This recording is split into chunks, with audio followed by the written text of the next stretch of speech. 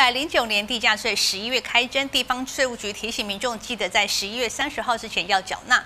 除了有各种缴税方法，在超商缴税部分呢，金额提升到三万块钱以下，税务局也建议民众可以使用行动支付工具线上查缴税，可以参加抽奖。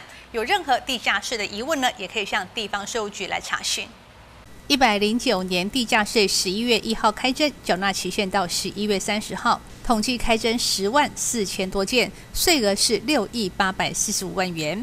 花莲县地方税务局表示，地价税的缴款书在十月下旬都全部寄出了。民众如果没有收到或是遗失，请赶快申请补发。十月一号至十一月三十一号，呃，地价税开征，那请各位乡亲尽速缴纳，以免缴纳滞纳，呃，以免加征滞纳金。那缴款书遗失或是未收到者，可以至本局分局或者是各乡镇市公所申请补发。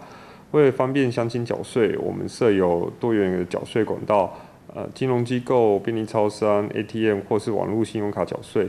那其中便利超商，我们从两万块提升到三万块以下，都可到便利超商缴费。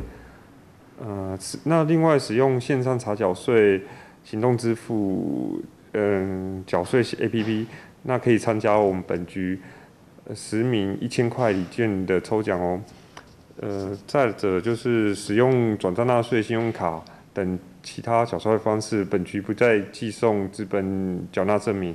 如需要资本缴纳证明者，可以电洽本分局，或者是至我们官网申请。嗯，另外，呃，使用转账代扣缴税者，请记得在十二月一号，呃。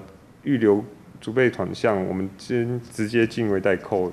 地方税务局表示，有任何地价税的疑问，可以拨打免付费服务电话零八零零三八六九六九，或者是税务专线零三八二二六一二一分机一八二到一八七，玉里分局是零三八八八二零四七分机二二二二五三，将会有专人来为您服务。接着会换市报道。